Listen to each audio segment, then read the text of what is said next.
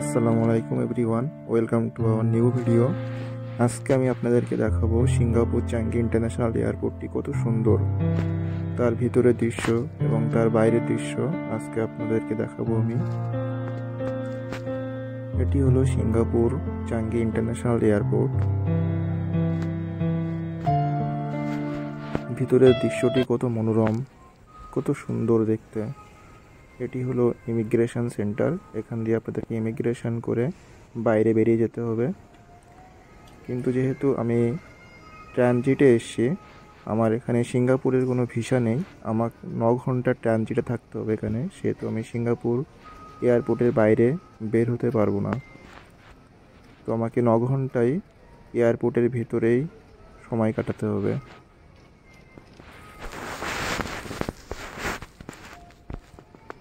এটা হলো terminal three. এখানে দেখতে পাচ্ছেন ইনফরমেশন সেন্টার এবং ট্রান্সফার সেন্টার।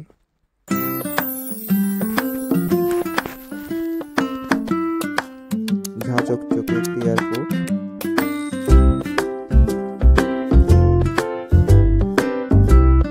ম্যাক্সিমাম প্যাসেঞ্জার যারা অস্ট্রেলিয়া, ইউএসএ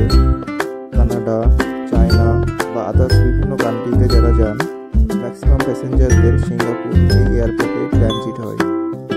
সো অনেকে এখানে ন ঘণ্টা দশ ঘণ্টা ছ ঘণ্টা কম বেশি অনেক সময় এখানে তাদেরকে কাটাতে হয়। সুন্দর রেস্টুরেন্ট কসমেটিক্সের অনেক শপ আছে এখানে।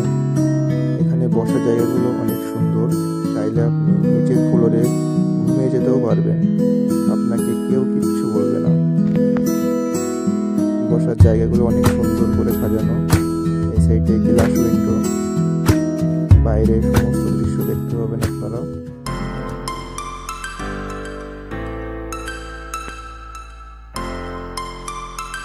এটি হলো কাতার এয়ারলাইন্সের একটি ফ্লাইট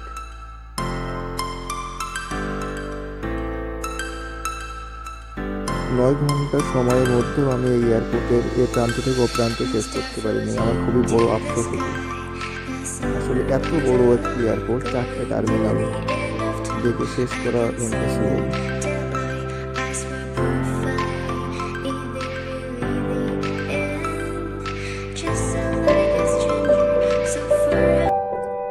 এয়ারপোর্টের ভিতরের গাছগুলো কত সুন্দর কত সুন্দর করে সাজানো। এখানে অনেকগুলি বসার জায়গা এবং শোয়ার জায়গা আছে।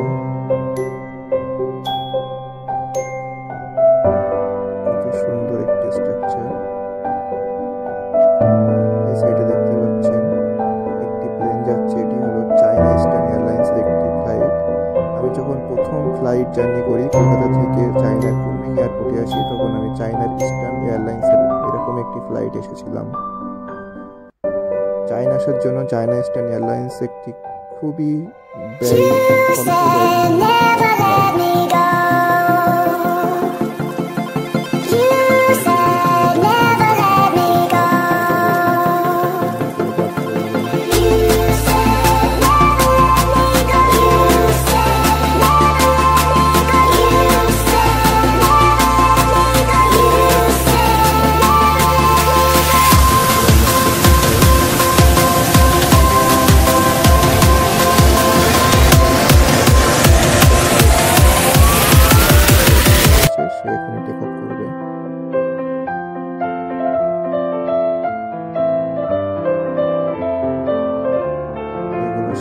সিঙ্গাপুর এয়ারলাইন্সের ফ্লাইট এখানে অনেকগুলি বসার জায়গা, শোয়ার জায়গা আছে। আপনারা চাইলেও নিচের ফ্লোরে ঘুমিয়ে যেতে পারেন। এত পরিষ্কার পরিচ্ছন্ন। প্রতিটা বসার জায়গাতে আপনাদের মোবাইল চার্জিং এর এবং ল্যাপটপ ল্যাপটপ চার্জিং এর ব্যবস্থা করা করা আছে।